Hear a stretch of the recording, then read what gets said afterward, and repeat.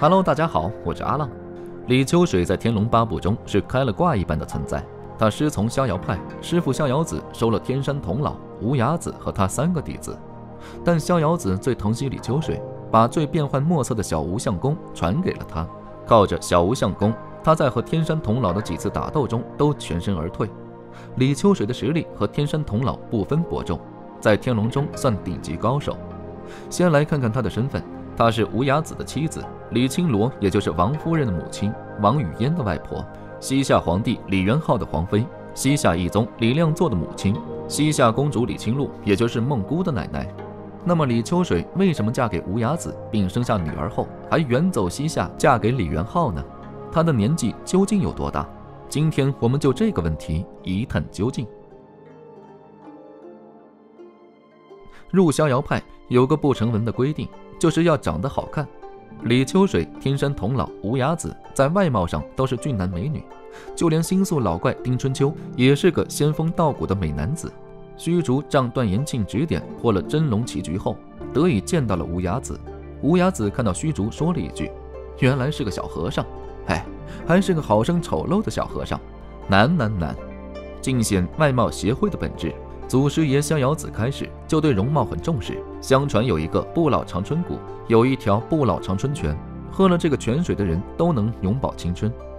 王语嫣为了追求美貌永驻，跟段誉一行来过这个不老长春谷，在一棵大树上看到一些纳西族人的象形文字。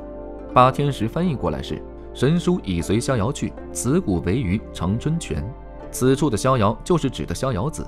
神书应该类似于逍遥派的天山地久不老长春宫。这个不老长春宫在天龙中只写了天山童姥有练，但李秋水和无崖子应该也得了相关真传。逍遥派的三个弟子出场的时候都很老了，但是容貌仍然年轻。先看虚竹见到无崖子，只见他黑须三尺，没一根斑白，脸如冠玉，更没半点皱纹。年纪显已不小，却仍神采飞扬，风度娴雅。在无崖子将七十年的逍遥派神功全部传给了虚竹后，他的模样迅速衰老。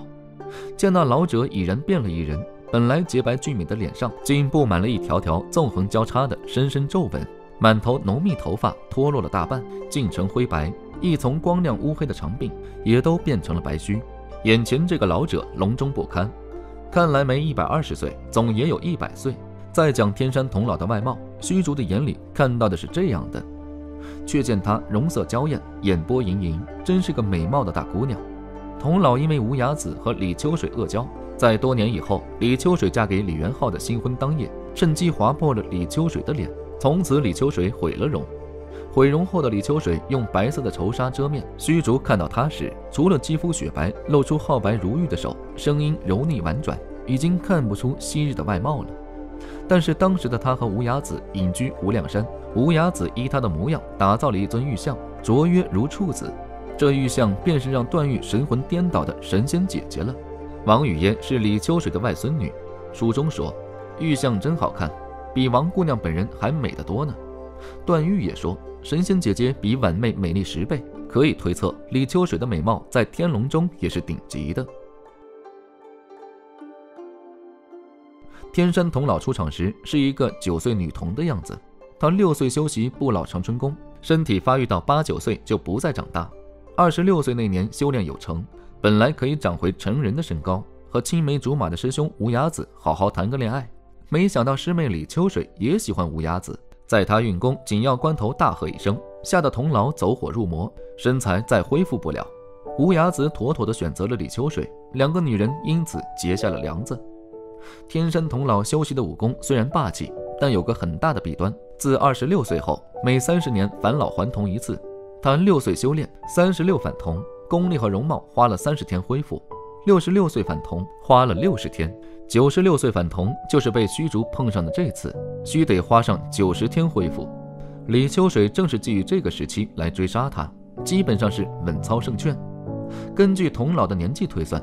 当年童姥比无崖子年长三岁，无崖子是二十三，小师妹李秋水小无崖子五岁，李秋水方年十八。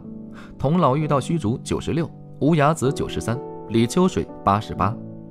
段誉在曼陀山庄见到王夫人时，她的外貌是：这女子身穿鹅黄绸衫，衣服装饰竟像极了无量山洞中的玉像。不过这女子是个中年美妇，四十岁不到年纪，姑且把王夫人年龄算成四十。李秋水生她的时候已经四十八岁。李秋水因为无崖子痴迷玉像，冷落他，故意找一些美少年交往甚欢。见无崖子人不在意，就找了无崖子的徒弟丁春秋。为此，无崖子气得和他二人下狠手打了一架。李秋水合力丁春秋，将无崖子打落悬崖，落得个半身不遂。亏得弟子苏星河掩护照料，躲避着丁春秋，不然根本活不到九十三。李秋水见无崖子落崖，又伤心又怕童老寻仇，带着几岁的女儿王夫人和丁春秋去了苏州。再后来，他扔下女儿，独自去了西夏。王夫人临终前跟情郎段正淳回忆他幼年时住在无量山的情景，说明他已经记事。保守算王夫人当年三十四岁吧，算上在苏州逗留的时日，等李秋水见到李元昊，至少已经五十一二岁。李秋水以五十多岁的年纪征服了见过美女无数的西夏皇帝李元昊。虽然在新婚当夜就被寻仇上门的童老毁容，但她也怀上了孩子。这个孩子就是西夏一宗李亮祚。有惊无险的从皇妃升级为皇太妃。李秋水能成为西夏皇妃，美貌是一块敲门砖，但她还有一项无解的特殊功能——柔媚之术，连定力达到一定境界的虚竹也都把持不住。为了躲避李秋水的追杀，天山童姥领着虚竹隐藏在西夏皇宫的冰窖里。当童姥即将满血复活时，李秋水适时地施展出那套媚术。李秋水喃喃地道。孟郎，孟郎，原来你果然是个多情少年。你上来，让我瞧瞧中原武林第一风流浪子是何等的人物。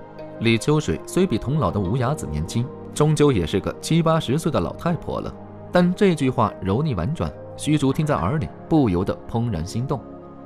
做了二十六年的和尚的虚竹，当时二十六岁，尚且把持不住。试问那些缺少定力的凡夫俗子，又怎么抵挡得住李秋水的媚术？天山童姥怒骂情敌的一句话，从侧面给出了答案：我是矮子不错，远不及你窈窕美貌。可是师弟早就什么都明白了，你一生便只喜欢勾引英俊潇洒的少年，你却自己想想，你有过多少情人了？美人白头的悲哀根本不会发生在李秋水身上。借用天山童姥的话来总结，就是窈窕美貌、勾引英俊潇洒的少年，有过很多情人，颜值逆天，驻颜有术。又有柔媚之术辅助，李秋水当然可以凭借五十岁的年龄征服西夏皇帝。而且李秋水是一个特别有耐性和心机的人，为了得到无崖子，他算准童姥修炼的关键时刻惊吓他，使童姥终生残疾。为了十拿九稳的报仇，他只在童老三十六、六十六、九十六返老还童之际下手。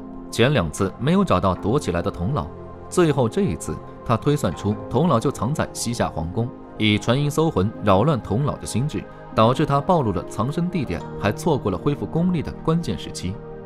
一个美貌、有心机、有手段、有能力的女人，相信不管在什么环境下都能够混得风生水起。